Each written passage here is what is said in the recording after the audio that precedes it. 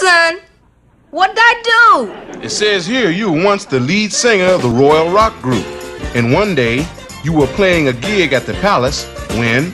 Hey, you cats, let's hear it for the king!